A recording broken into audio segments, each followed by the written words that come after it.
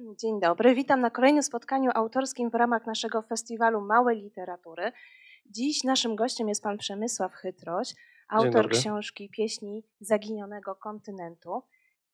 Nie wiem, ile z Państwa miało okazję już czytać tę książkę. Większość. tak, ale jak mówiłam, warto się zapoznać.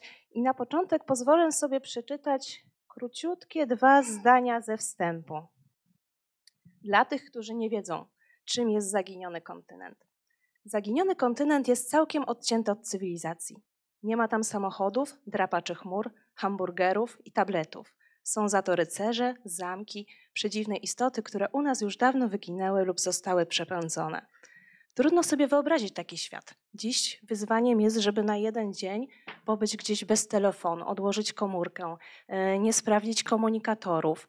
Czy taki świat w ogóle może istnieć? No, wydaje mi się, że nadal są takie miejsca. Wszędzie otacza nas technologia, technika. Jesteśmy w pewnym stopniu e, od niej trochę uzależnieni.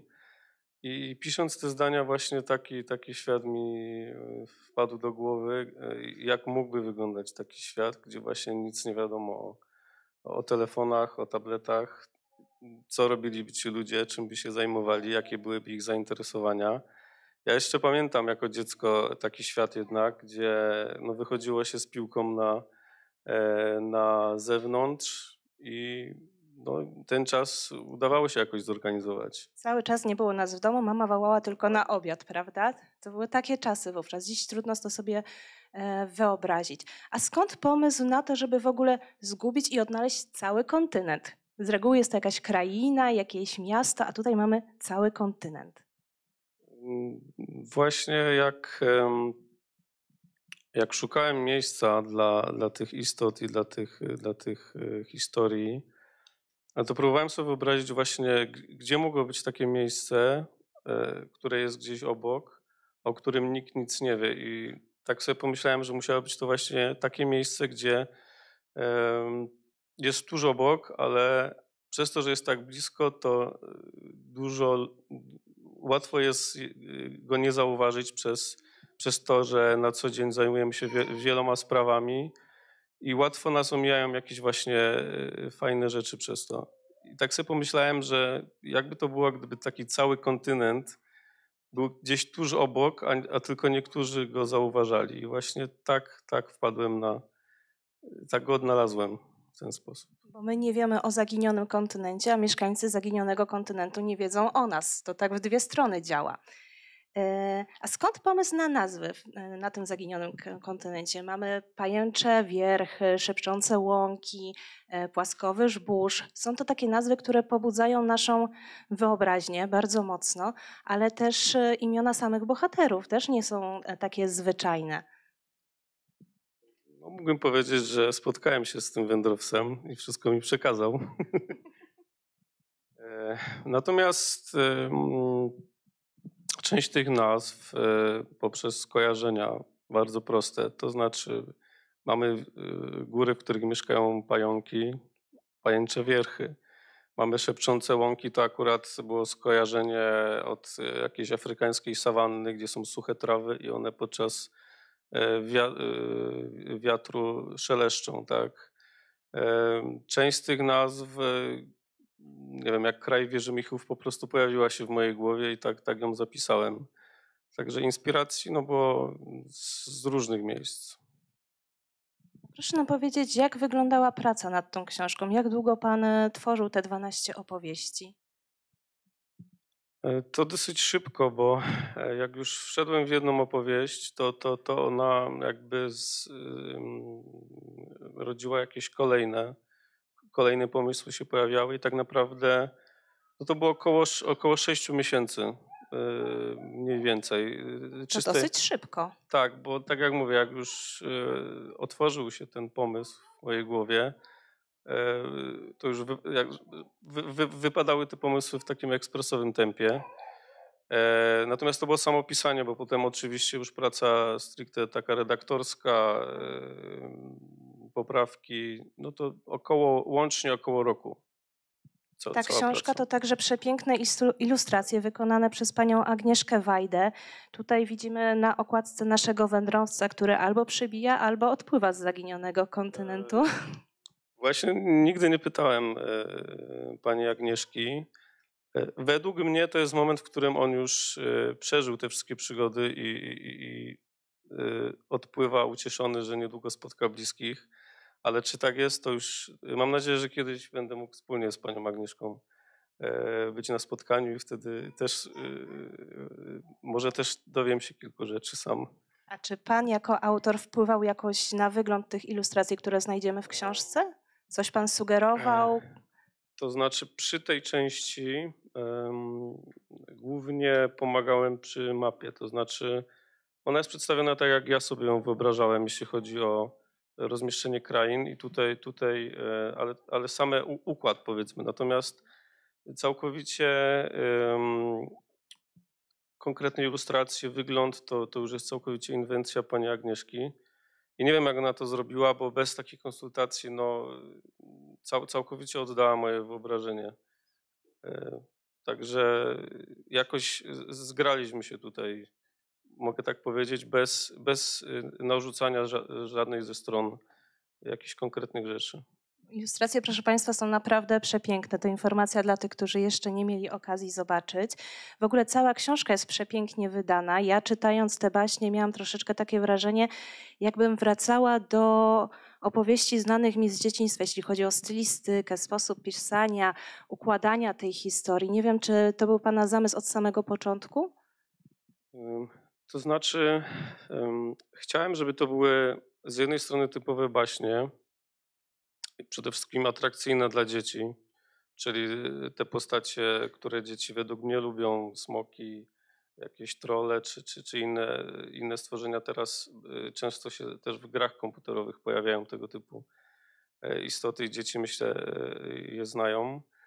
Natomiast e, nie ukrywam, że tak trochę wykorzystałem te, e, te motywy baśniowe po to, żeby gdzieś e, opowiedzieć o rzeczach, które według mnie e, o bardziej współczesnych, o bardziej współczesnych, czy może problemach, czy, czy jakichś wydarzeniach. e, I owszem, tak jakby zapożyczyłem pewne elementy, ale chciałem z nich zrobić coś, coś nowego, bardziej współczesnego. Myślę, że to Panu się doskonale udało. A skoro już poruszyliśmy kwestię problemów, czy też e, takich ukrytych, nie wiem jak to określić, czy w ogóle wartości, jakie Pan próbował w tych opowieściach podkreślać, no to mamy do czynienia tutaj z sytuacjami, które w naszym życiu się faktycznie zawsze pojawiają. E, Mamy e, takie wartości jak przyjaźń, jak e, pomoc innym, jak e, walka z własnymi słabościami, wytrwałość, e, czy też spełnianie własnych e, marzeń. E, Czy w procesie pisania tych opowieści najpierw pojawiał się problem, jakby e, pomysł samego problemu, czy ogólna wizja historii i w to wplatał Pan konkretny już taki troszeczkę wątek moralizatorski, prawda? Bo tutaj Zgadza się. Raczej gdzieś głównym jak gdyby sednem każdego e, opowiadania, gdy siadałem do pisania, było, był jakiś konkretny jeden wybrany problem, czy sposób, w jaki ja go widzę. Natomiast tak, e, te morały tam wypływają e, z, z każdej z tych opowieści, natomiast mi zależało, żeby to było, żeby one, e, żeby to nie było takie czarno na białym, tylko aby właśnie one jakoś naturalnie wynikały z, z danej opowieści i też nie chodziło mi o to, aby to było jakieś takie właśnie mo- moralizowanie, nie wiem, wytykanie błędów, słabości, ale bardziej na zasadzie pokazania, że, że, że nie wiem, że wszyscy to błędy robimy, ale że to jest normalne i każdy ma do tego prawo i każdy ma prawo uczyć się na tych błędach i każdy ma szansę, żeby te błędy naprawiać. I bardziej to było takim, to było to, co chciałem, żeby, żeby z tych pieśni prze, przebijało. Każdy z nas ma swoją własną historię i własne słabości, z którymi musi się zmierzyć. E, W tej książce, jeśli chodzi na przykład o mnie, bardzo spodobała mi się opowieść o stroicielce wiatru. Z kilku względów. Po pierwsze, mamy tam historię dziewczynki, która musi walczyć ze stereotypami i dostać się do szkoły, w której do tego momentu uczyli się tylko chłopcy. To jej się udaje, co prawda na krótko, później, żeby nie zdradzając wszystkiego po perypetiach, udaje jej się wrócić, ale musi też na to w pewien sposób zapracować.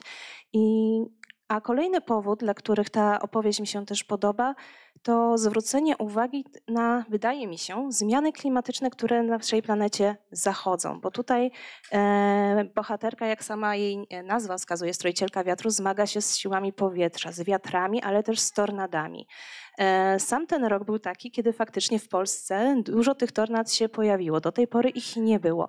E, I nie jest to wątek, który tylko w tej opowieści się pojawia, prawda? Walka z siłami natury, e, bądź też ich nieprzewidywalność pojawia się w kilku opowieściach. Czy to też było takie celowe? Może nie było jakoś to mm, główne tematy, ale niestety no, wszyscy zgodzimy się, że, że widać to na co dzień, tak? E, szczególnie gdy, gdy włączy się telewizor, aż, aż momentami jest to martwia... martwimy się, tak, że coś się nie tak dzieje z tą naszą pogodą. E, I to też, e, też się to przebija, przebija do, do, do moich tekstów, do moich opowieści. No, to jest coś, co temat, który się pojawia i będzie się pojawiał niestety. No mam nadzieję, że, e, e, że te zmiany będą zachodzić też w ludziach, że będą to zauważać i jakoś, jakoś wspólnie będziemy radzić, tak. Ale siłą rzeczy to też przebiło się tu do moich tekstów.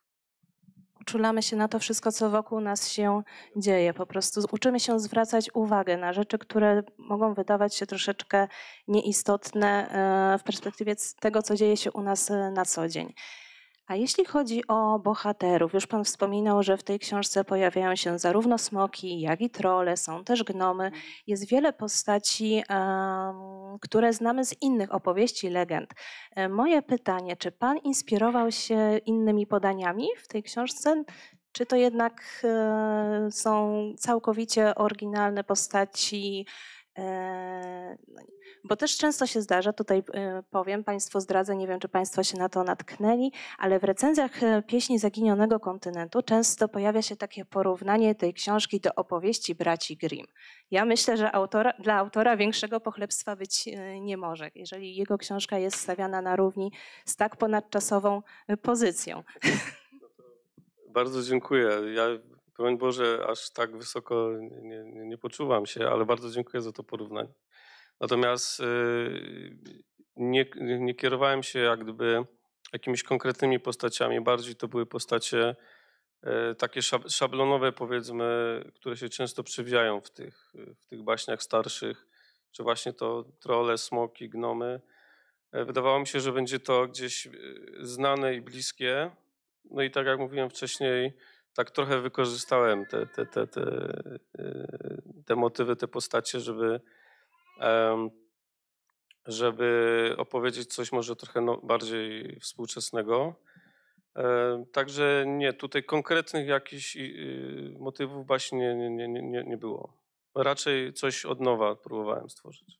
E, tak, i jeśli chodzi o to od nowa, chciałam zauważyć, że niektóre z tych postaci mają cechy zupełnie inne, z których ich kojarzymy, prawda? Na przykład smok w jednej z tych opowieści to jest lekcja bardzo dużej wrażliwości. Smoki, które już nie zioną ogniem, ponieważ z tego zrezygnowały, uznały, że to jest zbyt potężna broń w stosunku do innych istot.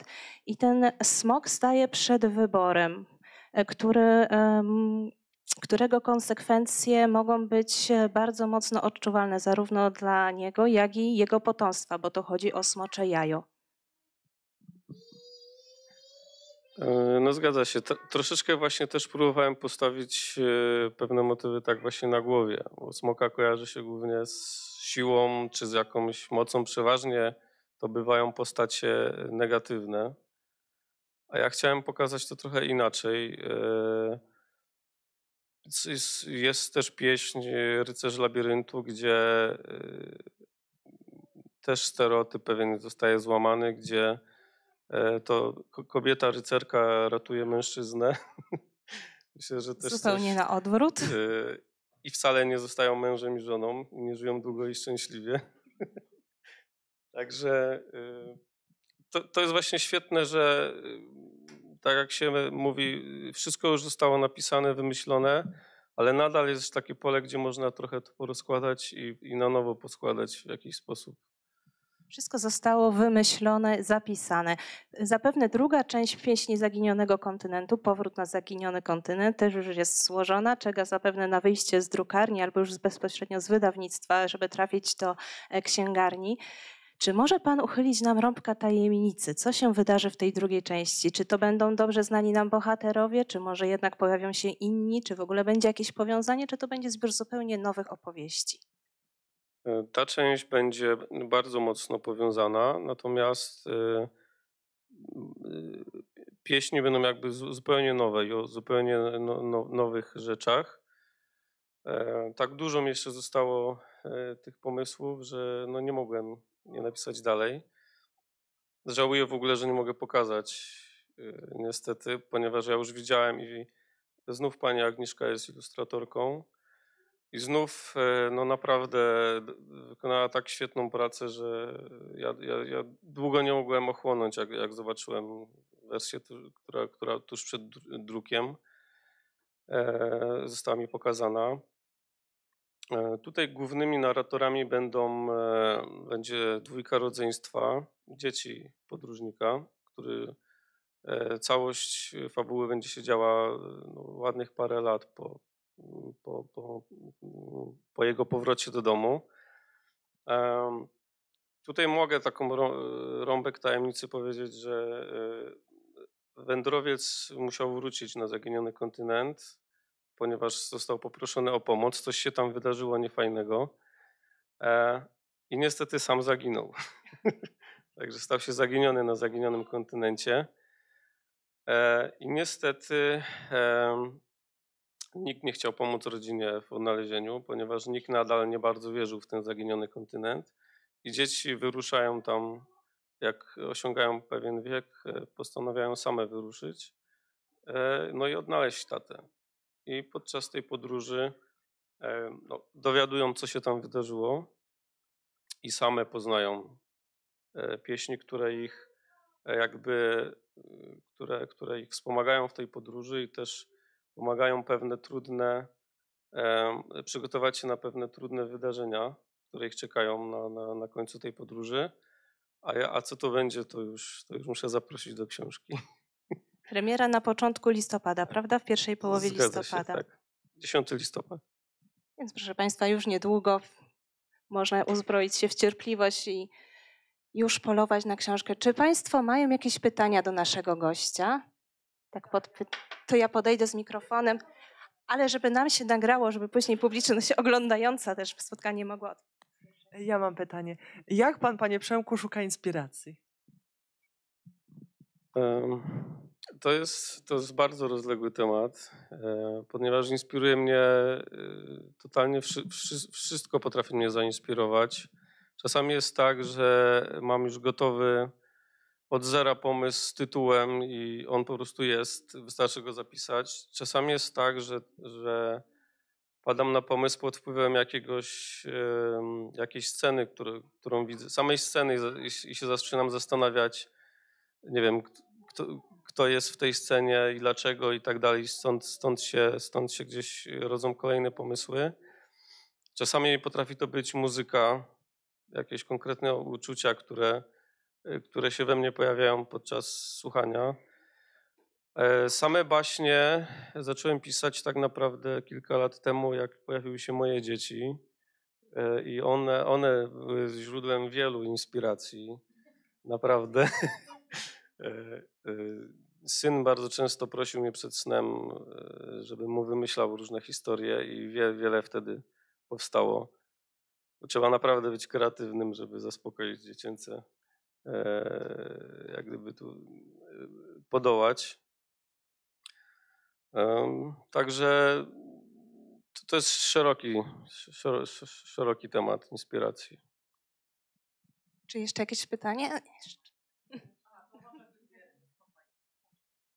No więc ja mam pytanie, ponieważ mnie bardzo zafascynowała sam, sam jakby pomysł e, stroicieli wiatru, że istnieją takie istoty, które są w stanie właśnie się nauczyć i właśnie e, jakby współpracować z tym żywiołem, więc chciałam zapytać, czy można by taki rąbek właśnie tajemnicy też em, ujawnić, czy w drugiej części pojawiają się również właśnie jakieś istoty, które będą w stanie wykorzystać ży- żywioły w jakiś sposób?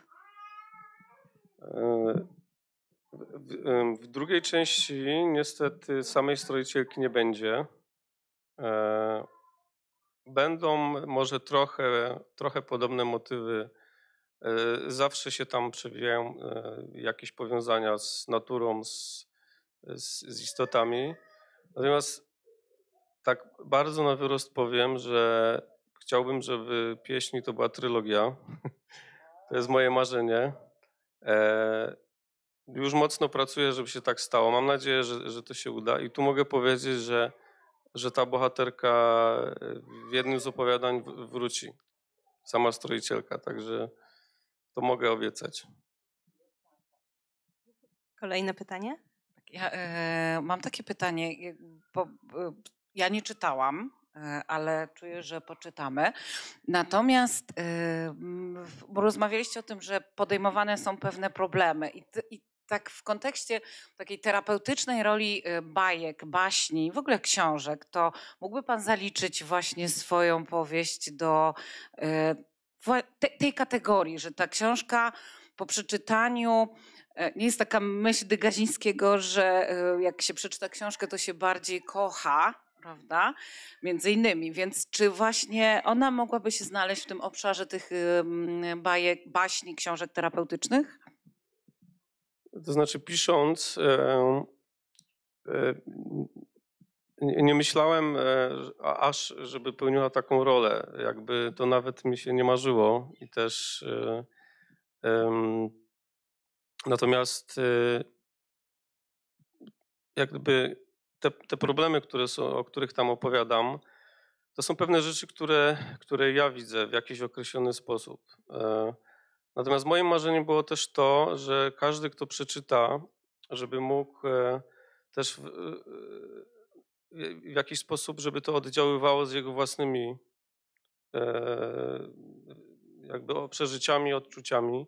I nawet jeżeli to nie pokrywa się z moim wyobrażeniem, no to, to super, że ktoś ma swoją własną interpretację. I samo to, że to coś porusza ten tekst i jakąś część tego czytelnika, no to to już jest dla mnie bardzo ważne, że, że, że to w jakiś sposób oddziałuje e, z, z samymi przeczuciami tego, kto będzie czytał, tak? że on to w jakiś sposób będzie interpretował. E, I to jest, jeżeli tak się będzie działo i tak się dzieje, to dla mnie to jest, to jest super. Ale na pewno niełatwe tematy e, się tam przewijają. Mam nadzieję, że nie za trudne też, ale no uważałem, że były pewne rzeczy, o których bardzo chciałem e, napisać. I- bardzo właśnie ciekawi mnie, jak, jak czytelnicy to interpretują. Czy tak samo jak ja, czy inaczej. To też jest świetny temat do dyskusji na pewno.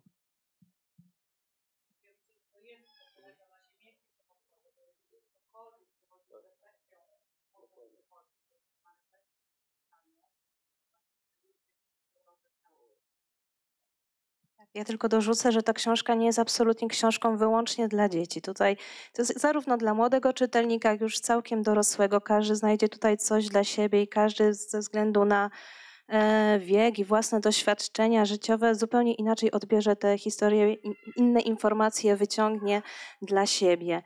E, Mówił Pan o tym, że opowiada swoim dzieciom bajki na dobranoc, że je wymyśla. A ja mam takie pytanie. Czy jest jakaś bajka z dzieciństwa, książka, do której Pan lubi wracać, którą Pan polecał też swoim dzieciom?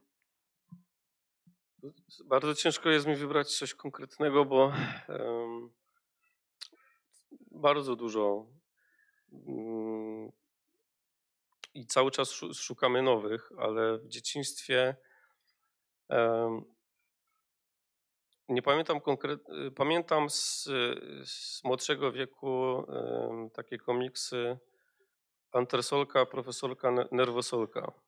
Nie wiem, czy ktoś z Państwa to zna, ale to e, e, te ilustracje i te, ten taki troszeczkę mm, dzi- dziwny humor któ- który się przebijał.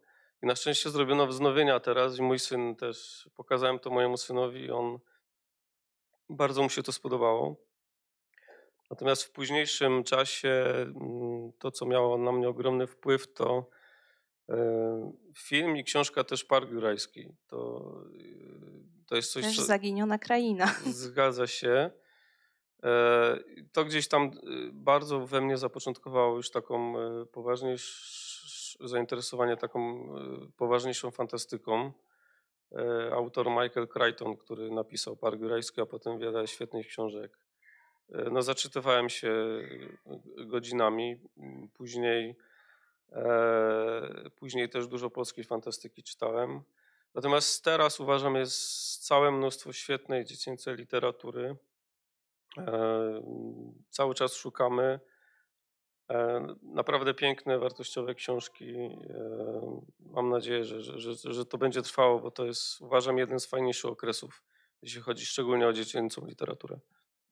Ja się cieszę, że w wypowiedzi pojawił się komiks, ponieważ e, w ramach naszego festiwalu e, nawiązujemy też do twórczości dwóch twórców komiksu. Renę Gościnnego, którego każdy zna z postaci Mikołajka czy Asterixa oraz Mariana Walentynowicza, który stworzył koziołka Matołka, więc cieszę się, cieszę się, że to powiązanie z komiksem też tutaj się nam pojawiło.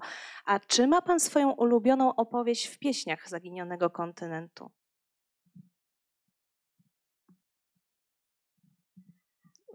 Ciężko jest mi wybrać. E, Jedną z pierwszych, jak- jaką napisałem, to była o wojowniku, który chciał się rozdwoić. To był w ogóle pierwszy bohater.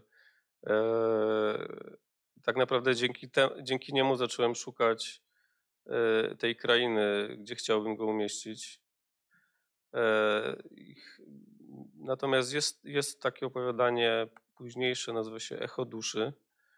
I tam, tam całe to opowiadanie, ten bohater chyba jest takim moim na, na, najulubieńszym. Czyli troszeczkę rozdarte tutaj uczucia pomiędzy dwójką bohaterów. E, A może przeczytałby nam pan fragment tej pierwszej opowieści? No, mogę przeczytać, jeżeli Państwo chcecie. Okej.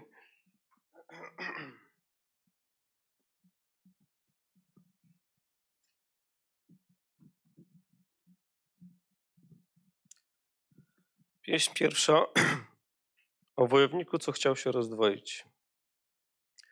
W Dolinie Mgieł żył wojownik zwany Holderykiem Niezłomnym, który bez ustanku pracował. Na zlecenie króla Ladariusa polował na potwory, ochraniał dworskie karawany, wykradał cenne klejnoty ze smoczych jaskiń. Ciężkie to były zajęcia i czasochłonne, lecz Ho- Holderyk nie miał innego wyjścia. Rodzinę musiał przecież wyżywić, a na naukę nowych zawodów dnia już mu nie starczało. Tak naprawdę lubił swoją pracę, nie chciał szukać innego zajęcia. Jednak wszystko ma swoją cenę. Mężczyzna głowił się często, jak sprytnie połączyć pracę z obowiązkami. Szczególnie, że najstarszy syn wchodził już w wiek dorosły i potrzebował przewodnika. Co sobie nasz bohater postanowił, by spędzić z dziećmi trochę więcej czasu, zawsze coś mu w tym przeszkadzało. Gdy już stał na progu swojej chatki, przebiegał, przybiegał królewski goniec z nowym zadaniem. A kiedy w końcu wracał w ukochane domowe pielesze, dzieciątka wszystkie już smacznie pochrapywały. Jedyne, co wtedy niezłomnemu pozostawało, to ucałować wszystkie włochate główki i wycofać się na palcach do kuchni, by tam nad kubkiem mleka rozmyślać o swoim niełatwym losie. Którejś nocy najstarszy syn wymknął się z sypialni, by przeprowadzić z ojcem ważną rozmowę. Ciężki dzień miałeś, tato? zagadnął Bartłomiej i usiadł z- takim samym kubkiem mleka w dłoni. Ciężki, Bartuś, ciężki. Wielu ludzi uratowałeś, wiele potworów pobiłeś. Wiele, synku, potwierdził Holderyk i zapatrzył się na młodego. Dostrzegł, że chłopaka coś męczy. W oczy ojca nie patrzy, sie- siedzi na skraju ławy tylko do kubka zagląda, jakby jakieś dziwy tam harcowały. Tato, odezwał się w końcu chłopiec. Holderyk przestał pić i przysiadł się bliżej. Mówno, Bartuś, co cię martwi? Nic, tylko tak sobie myślałem. Czy nie czas już, żebyś nauczył mnie walczyć mieczem? Hmm, zadumał się wojownik. Jeszcze nie te lata, jeszcze nie jesteś gotowy. A zresztą nie wolałbyś, żebym ci przyniósł od druidów uczonych ksiąg? Ja od dzieciaka tylko miecz i miecz i teraz na nic innego czasu nie ma niż wojaczka. No ale bronić siebie i innych trzeba umieć. No tak, trzeba, ale coś mi się wydaje, że ty tak bez powodu nie pytasz. Co się takiego wydarzyło, że nie możesz spać? Chłopiec lekko zbladł i skulił się w sobie. A no bo jak się dziś rodzeństwem na dworze zajmowałem, to od zagajnika podstawem plewniarka nadeszła i martyszkę chciała ugryźć. Plewniarka? Tfu. Holderyk aż się podniósł z ławy. Przecież na te gady oślizgłe wnyki pozastawiałem. Ani jedna nie powinna na brzeg się przedostać. Zaraz jednak emocje opanował i usiadł. I co zrobiłeś? Wziąłem kij i plewniarkę, po, po łbie tłukłem, aż uciekła, a potem matura do domu młodszych zagoniła. Kijem plewniarkę przepędziłeś? Zły chłopak. No tak, tylko co będzie, jak coś większego ku nam poleci? Latawiec jakiś albo smok bojowy? Na nie z kijem nie pójdę przecież. Ojca przez cały dzień w domu nie ma, a matka sama nie da rady. Przepraszam, ale troszkę tracę głos. Myślę, że. To postawmy wystarczy. tutaj trzy kropki i zdradźmy tylko, że na skutek tej rozmowy z synem e, nasz wojownik wyruszył w podróż. Wyruszył w podróż przez zaginiony kontynent i teraz zakończymy tą naszą rozmowę, a dzieci zaprosimy na taką drobną część warsztatową podróży przez zaginiony kontynent. Panu Przemkowi bardzo Ja dziękujemy. również dziękuję bardzo.